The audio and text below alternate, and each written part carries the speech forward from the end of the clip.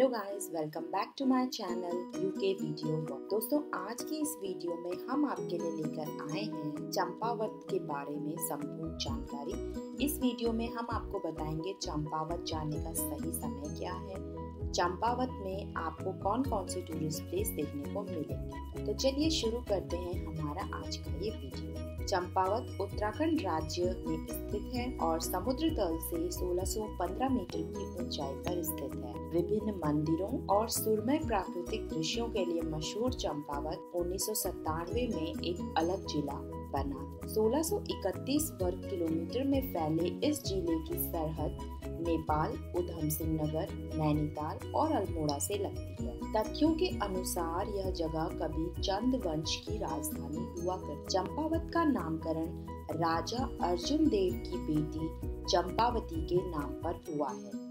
ऐसी मान्यता है कि भगवान विष्णु का पूर्ण अवतार यही हुआ था। Tourist places of Champawat. First Lohaghat ऐतिहासिक महत्व वाला शहर लोहा घाट चंपावत से सिर्फ़ 14 किलोमीटर की दूरी पर है।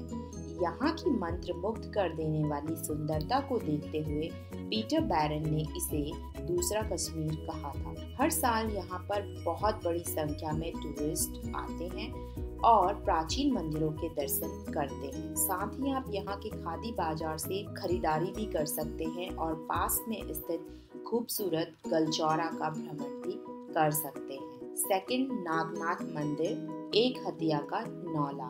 उत्तराखंड राज्य के चंपावत ज़िले से पाँच किलोमीटर दूर स्थित एक प्रसिद्ध पर्यटन स्थल है। पत्थर को तराश कर बनाया गया एक हथिया की नौले की कलाकृति पौराणिक कथा के कारण भी प्रसिद्ध है। ऐसी मान्यता है कि इस पूरी आकृति को एक हाथ वाले शिल्पकार ने एक रात में तराश कर बनाया था। थर्ड, माउंट एपल उत्तराखंड के चंपावत ज़िले में यह प्रसिद्ध पर्यटन स्थल लोहाघाट से लगभग 8 किलोमीटर और चंपावत ज़िले में काली नदी सीमा के पास कुमाऊं पहाड़ियों के पूर्वी हिस्से में स्थित है। माउंट एबट की स्थापना 20वीं शताब्दी में जॉन हेरोल्ड एबॉट नामक अंग्रेज़ी व्यवसायी ने की थी। इसे जॉन हेरोल्ड एबॉट द्वारा स्थापित किया गया। इसलिए इसका नाम माउंट एबट रखा गया। यह स्थान कुमाऊं हिमालय की गोद में बसा हुआ है, जहाँ से आप हिमालय का सुंदर नज़ारा देख सकते हैं। फोर्थ मायावती आश्रम।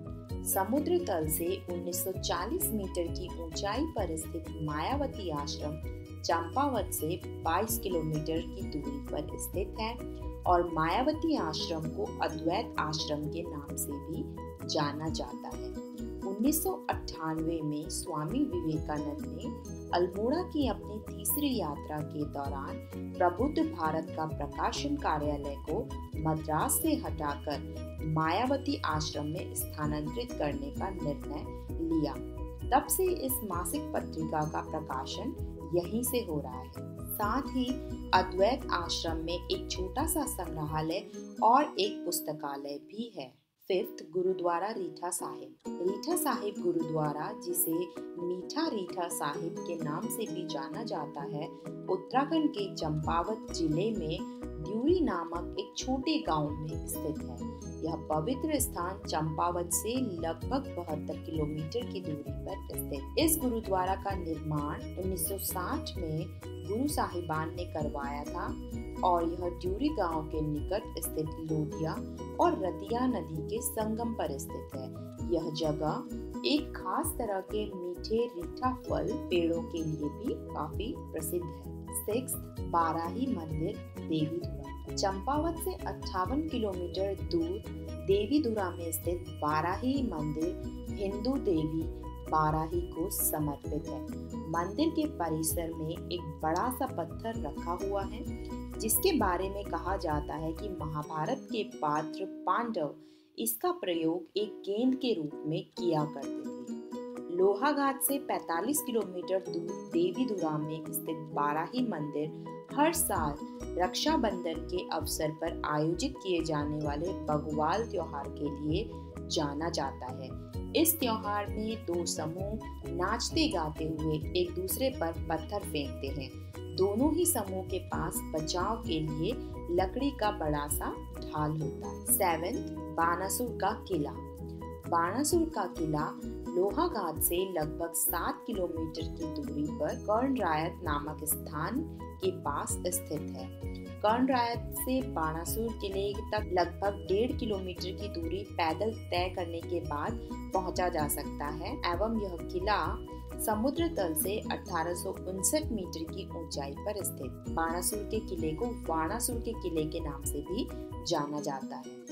ऐसी मान्यता है इसी स्थान पर भगवान श्री कृष्ण के द्वारा बाणासुर का वध किया गया था, क्योंकि बाणासुर ने श्री कृष्ण के पौत्र का अपहरण कर लिया था। साथ ही एक मान्यता यह भी है कि इस किले का निर्माण मध्यकाल में किया गया था। एट्थ क्रांतेश्वर महादेव मंदिर। चंपावत से 6 किलोमीटर दूर स्थित क्रांतेश्वर महादेव मंदिर समुद्र तल से 6000 मीटर की ऊंचाई पर बना है। यह तीर्थ स्थल भगवान शिव को समर्पित है, जिसे स्थानीय लोग कानदेव और पूर्व कूर्मपर नाम से भी संबोधित कर, नाइन आदित्य मंदिर पहाड़ की चोटियों फूलों की वादियों और हरे भरे घने जंगलों से घिरा प्राचीन आदित्य मंदिर रमक गाँव में स्थित। यहाँ भारी संख्या में पर्यटक सूर्य भगवान की पूजा अर्चना करने के लिए आते हैं। ऐसी मान्यता है कि इस मंदिर का निर्माण चंद वंश के राजाओं ने करवाया। टूरिस्ट चाहे तो पास में ही स्थित आदि और भूमिया मंदिर के दर्शन भी कर सकते हैं। टेंथ बालेश्वर मंदिर बालेश्वर मंदिर मंदिरों का समूह है। जिसका निर्माण चंद वंश ने करवाया था। ये मंदिर हिंदू देवी बालेश्वर, रत्नेश्वर और चंपावती दुर्गा को समर्पित है। मंदिर के मंडप और छत पर की गई नक्काशी इसकी खूबसूरती में और भी इजाफा कर दी। इलेवेंथ पूर्णागिरी मंदिर। पूर्णागिरी मंदिर समुद्र तल से 3000 मीटर की ऊंचाई पर स्थित है। मार्च अप्रैल के महीने में इस मंदिर में हिंदू धर्म का त्योहार चैत्र नवरात्र मनाया जाता है। इस त्योहार में भारी संख्या में पर्यटक पूजा अर्चना करने के लिए मंदिर में आते हैं। मंदिर के पास ही काली नदी बहती है, जिसे शारदा नदी के नाम से भी जाना जाता है। यहाँ से आप पूर्णागिरी पहाड़ी, काली नदी और टनकपुर का मनोरम दृश्य देख सकते हैं। ट्वेल्थ ग्वाल देवता ग्वाल देवता को न्याय की देवी में गोरिल और गोल नाम से भी जाना जाता है। ग्वारल चोर में देवता को समर्पित एक मंदिर है थर्टीन चौमू मंदिर या पंचेश्वर महादेव मंदिर। चौमू मंदिर काली और सरयू नदी के संगम पर स्थित है। पंचेश्वर महादेव मंदिर भगवान शिव का एक पवित्र मंदिर है। इस मंदिर में लोग भगवान शिव को पशुओं का रक्षक मानकर उनकी पूजा करते हैं। और मंदिर में घंटी बांधने के अलावा दूध भी चढ़ाते हैं।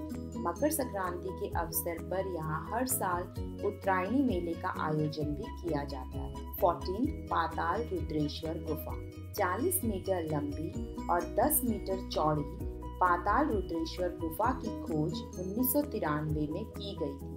ऐसी मान्यता है कि भगवान शिव ने मुक्ति पाने के लिए यहाँ तपस्या की थी। एक मान्यता यह भी है कि हिंदू देवी दुर्गा ने यहाँ के एक स्थानीय निवासी को सपने में दर्शन दिया था और पाताल रुद्रेश्वर गुफा के बारे में बताया फिफ्टीन पंचेश्वर। पंचेश्वर काली और सरयू नदी के संगम पर बसा है। संगम के स्थान पर डुबकी लगाना हिंदू धर्म में पवित्र माना जाता है। पंचेश्वर की सीमा पड़ोसी मुल्क नेपाल से लगती है। टूरिस्ट यहाँ पर 6000 मेगावाट कैपेसिटी का बहुउद्देश्य बाँध भी देख सकते हैं। हिंगला देवी मंदिर।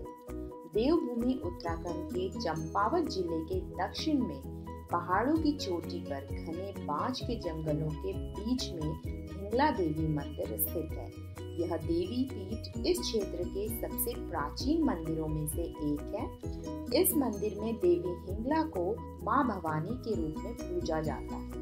लोहा घाट में शॉप अगर आप लोहा घाट में शॉपिंग करना चाहते हैं तो इसके लिए खादी बाज़ार एक अच्छा विकल्प हो सकता है। चंपावत में ट्रैकिंग। ट्रैकिंग के लिए भी चंपावत एक आदर्श जगह है। यहाँ पर ऐसे कई सारे ट्रैकिंग रूट हैं, जो चंपावत को पंचेश्वर लोहा घाट वानासुर, टनकपुर, पूर्णागिरी और कंटेश्वर मन से जोड़ते हैं। चंपावत आप कैसे पहुँच सकते पर्यटक पिथौरागढ़ के नैनी सैनी एयरपोर्ट या पंतनगर एयरपोर्ट से टैक्सी बुक करके चंपावत पहुँच सकते हैं। निकटतम रेलवे स्टेशन की अगर बात करें तो काठगोदाम रेलवे स्टेशन यहाँ का निकटतम रेलवे स्टेशन है और आसपास के कई सारे शहरों से भी आपको चंपावत के लिए बसें आसानी से मिल जाएँगी। चंपावत जाने का सबसे अच्छा टाइम चंपावत घूमने के लिए गर्मी और ठंड का मौसम आदर्श माना जाता है। तो दोस्तों, आज की वीडियो में बस इतना ही। अगर आपको चंपावत से जुड़ी ये जानकारी पसंद आई है तो इस वीडियो को लाइक, शेयर ज़रूर करें। इसके अलावा भी चंपावत में और कौन कौन से टूरिस्ट प्लेसेस हैं जहाँ पर आप गए हैं या जाने का मन बना रहे हैं तो आप हमें कमेंट सेक्शन में कमेंट करके ज़रूर बताइए। और इसी तरह नए नए प्लेसेस के बारे में जानकारी के लिए हमारे चैनल यूके वीडियो वर्ल्ड को ज़रूर सब्सक्राइब कर लीजिए thanks for watching this video